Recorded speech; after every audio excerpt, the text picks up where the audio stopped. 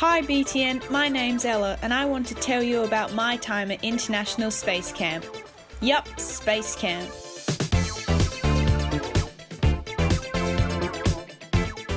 It's held at the US Space and Rocket Center right here in Huntsville, Alabama. All year round, kids from all over America can learn what it's like to be real life astronauts, engineers, and scientists. But once a year, they invite international students along too. They travel from more than 100 countries to take part, and this year I got to be one of them. Over the week, we got to do lots of incredible things, like launching rockets Oh, nice. and walking on the moon. But the biggest highlight for me were the mission simulations. They were held inside mock ups of real spacecrafts.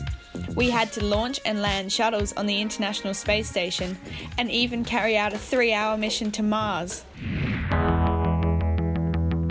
In the first mission, I was the commander of the Discovery Space Shuttle.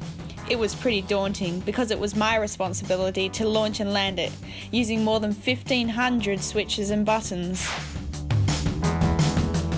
On the second mission, I had to help two mission specialists from Mission Control. Their job was to replace an antenna on the outside of the International Space Station. Then, on my last mission, I got to experience the challenges of working in zero gravity for myself. Overall, Space Camp was such a great experience, and I made lots of new friends from all over the world. But most importantly, it helped me understand the roles and responsibilities of everyone involved in a real space mission. One day, I hope to become the very first female Australian astronaut and experience what it's really like way up in space.